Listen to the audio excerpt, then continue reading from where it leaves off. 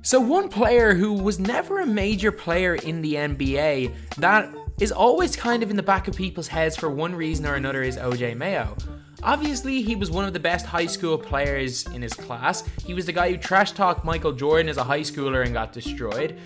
And then he ended up being declared ineligible to play college basketball for taking improper benefits. And he was declared ineligible two years after he finished playing college basketball. And then obviously he was banned from the NBA in 2016. But that ban was actually lifted at the start of this NBA season, so he's eligible to be reinstated in the NBA. And if you were to look at him, obviously before his last two years in Milwaukee, you might think, oh, after two years, he probably would have a chance of making it back on a roster. And as you all know, he's currently not on an NBA roster. So this is a video where I'm going to talk about OJ Mayo and what he's doing right now, who he's playing for, and what he's done since the two year ban, and whether I think he will end up getting another chance in the NBA or not. So before this video starts, I'd just like to say we are doing a daily December. We're uploading a video every single day. I know these videos are getting later and later and later, so uh, I'm going to try get it back into somewhat decent schedule, especially for all the people that are watching from Europe. But also, we are trying to hit 70,000 subscribers by the end of the month. We hit 66,000 subscribers yesterday, and we're like at 66,400 right now, nearly, which is absolutely nuts. So, if you guys could uh, subscribe, that'd be great. We are going for 70,000 subscribers at the end of the month. And also, a big thanks to Athletics Case for sponsoring the video. With copyright issues with a lot of basketball footages, um, sponsorships allow me to keep this as my job. Stepping up to the couch, it's Brian, who led the league last season in cracked screens. But with his new athletic case, it looks like that won't be the case. Touchdown, Brian! So OJ Mayo, as I said, was one of the best high school players that had been seen in years.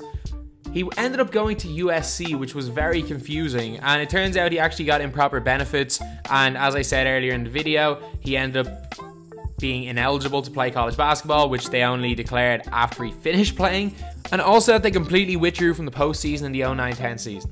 So OJ Mayo actually started off looking really solid in the NBA. He ended up averaging 18 and a half points per game as a rookie, shooting 43% from the field, nearly 40% from three, which is really good. His second year, he averaged 17 and a half points per game, and then he seemed to fall off a cliff for two years, averaging 11.3 points and 12.6 points per game.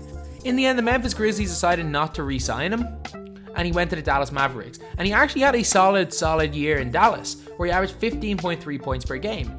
He then signed with the Milwaukee Bucks for three years, and again, his play seemed to completely, completely fall off. In his three years in Milwaukee, he averaged 11.7 points, 11.4 points, and 7.8 points per game, which you might think is too bad, but as a pure scorer, it is. His first year he shot 40%, second year he shot 42%, third year he shot 37% from the field, which was just terrible. And it was noticeable that OJ Mayo wasn't in NBA shape. Probably the end of his NBA career. On the 1st of July 2016, he was dismissed from the NBA for drug violation, and that ban was actually to last two years. So obviously it was to last till 2017, 2018. So coming into this season, he should have been eligible to be reinstated into the NBA. But why wasn't he? Obviously, he showed that he was still an NBA level player while he was uh, with the Milwaukee Bucks. Just obviously wasn't in the greatest shape. But still, had he not been banned, he would have been signed by another NBA team. But OJ Mayo actually didn't play any basketball until April of 2018. Well, he didn't play any competitive basketball anyway. He said he was getting himself back in shape, that he was trying to make a comeback for the NBA, which was a little bit off because even though he was banned from the NBA, he wasn't banned from any of the other leagues around the world. And he, in my opinion anyway, if he was really interested in playing basketball, he should have went and played professionally somewhere else. But it took nearly two years for him to decide to do this. And in April 4, 2018, he did sign a professional contract. He did sign to play basketball again. However, was it in Europe? No. Was it even in China? No. Australia? No. He signed to play with Atleticos de San German in Puerto Rico. He lasted not even three months. On the 27th of June 2018, he was actually released by the team. He started 18 of his 21 appearances with the team, however, he shot just 39% from the field and only averaged 13.4 points per game, 3.9 rebounds, 3.5 assists, and 1.1 steals. And this isn't somewhere like EuroLeague, where it's difficult to average more than 15 points a game. This was Puerto Rico, where he was only averaging that amount. And on October the 22nd this year, he signed with a team in Asia. But again, was it China? No. He signed with the Dacin Tigers of the Super Basketball League in Taiwan. And if you guys don't know who the Dacin Tigers are, they're the team that Sim Bhullar, the 7 foot 5 guy that could barely walk, played for last season and dominated. OJ Mayo, the third pick in the NBA draft, a guy who was hoping to be in the NBA right now, is currently playing in the Taiwanese league. However, according to AsiaBasket.com, he is averaging 24.3 points per game, and the clips in the background that you guys are watching are actually from a game where he did score 39 points. So he is playing well, to be fair, in the Taiwanese league.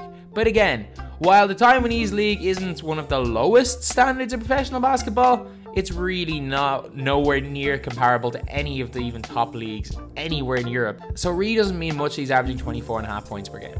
So will OJ Mayo make it back into the NBA? I'd say there is a 99.9% chance he doesn't. And to be completely honest, and to be completely honest, if he was really serious about going back into the NBA, he probably would have tried to play basketball non-stop professionally somewhere over those two years that he was banned. However, it took him nearly two years to play for anyone, and he's played in Puerto Rico and Taiwan and doesn't appear to be in any better shape. He actually looks to be in worse shape than he was with the Milwaukee Bucks. So no, I just don't see it happening. So anyway, that's the video. Thank you guys for watching. Please like, comment, and subscribe.